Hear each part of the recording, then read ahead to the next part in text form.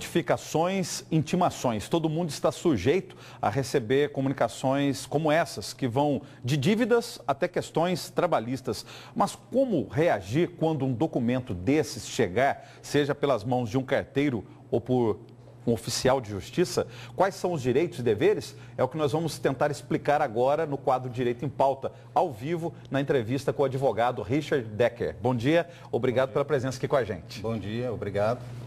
Eu falo tentar porque é meio de complicado mesmo. São, é, tem notificação, intimação e citação. Conceitue para a gente inicialmente essas três situações. Tá. A citação é um ato formal, né, é, praticado dentro de um processo em que o juiz convoca a parte ou o interessado para fazer parte daquele processo. E a partir do momento que a citação ela é concluída, abre-se o prazo para ela poder apresentar a defesa ou se manifestar a respeito daquilo que o autor disse na petição inicial. Notificação. A notificação ela é um ato formal também, que resguarda e salvar, salvaguarda direitos, mas também é uma forma de você provar que a pessoa recebeu determinado conteúdo ou o teor de um determinado documento. E a intimação? A intimação é um ato processual ou mesmo de uma, de uma outra autoridade chamando você para praticar ou deixar de fazer um, uma determinada ação, ou mesmo para que você vá lá comparecer perante aquela autoridade para prestar algum depoimento, algum esclarecimento. São instrumentos utilizados pelo Poder Judiciário, os três? Pelo Poder Judiciário, pela polícia, né, são atos de convocações. Só resumindo então, desses três, o que a pessoa tem que comparecer no caso da intimação. Citação e intimação. intimação. A citação você comparece ao processo. Intimação, às vezes, muitas vezes você vai ali para uma audiência de conciliação, uma audiência de instrução. Quando o senhor fala é, citação, é, tem que comparecer no processo, é apresentando algum documento? Sim, apresentando. O advogado fazendo algum acréscimo, alguma questão assim. Não é a pessoa indo ao fórum, por exemplo, ou à delegacia, que é diferente no caso da intimação. Aí é presencial no caso da intimação, é isso? Sim. A citação se dá, o comparecimento da parte se dá através do, do advogado, né? Cartórios também utilizam desses esses expedientes, notificação, intimação e citação? Sim, se utilizam. Um dos principais é a notificação. Né? A notificação cartorária, inclusive, ela possui fé pública, então, em determinados casos, recomenda-se que faça a notificação via cartório. Poderes públicos, uma prefeitura, governo do estado, um órgão federal pode utilizar também desses instrumentos? Sim, se utiliza a, as leis, elas determinam qual é o ato a ser praticado por aquela autoridade, podendo ser uma intimação, pode ser uma notificação. Agora, a pessoa, se por exemplo foi intimada e não compareceu, seja a delegacia ou ao fórum da comarca, quais são as consequências?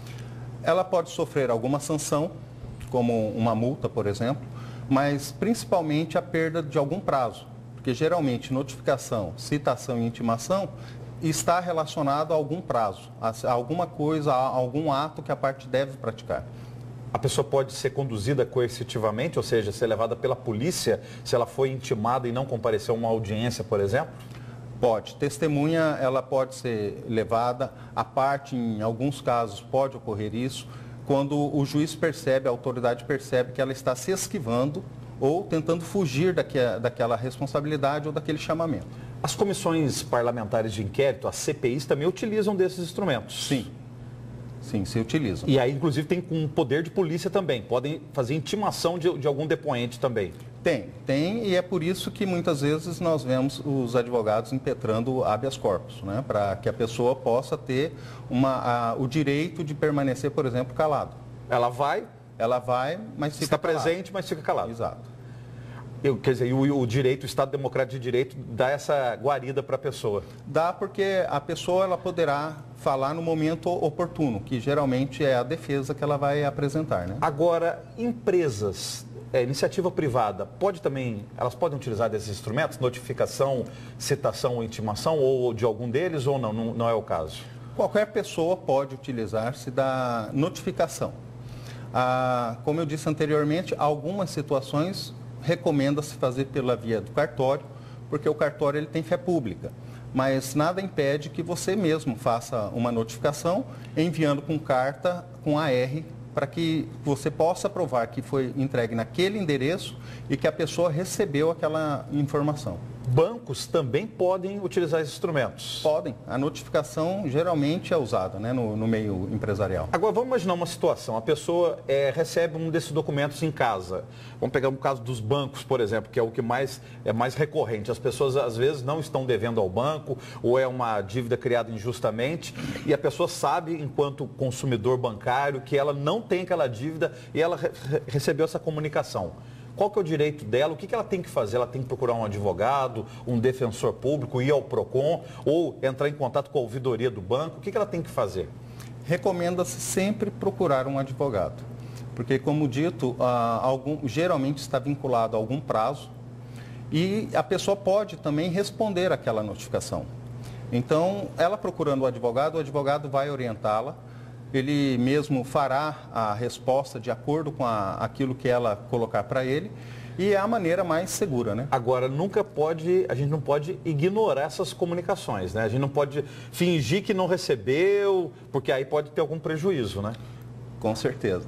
Há algumas pessoas equivocadamente é, pensam em, em, se negar a, a dar uma resposta ou a receber, acreditando que está se defendendo mas você corre o risco de, mesmo se recusando, o oficial de justiça, por exemplo, certificar que você não quis receber, a pessoa não quis receber aquele documento e o juiz vai considerar a pessoa intimada ou citada da mesma forma. E o problema aí é que você poderá perder um prazo porque você não vai estar sabendo a, a, o que está acontecendo no processo. Muito obrigado pela sua presença aqui no Jornal da Manhã. Até uma próxima oportunidade. Eu que agradeço. Obrigado.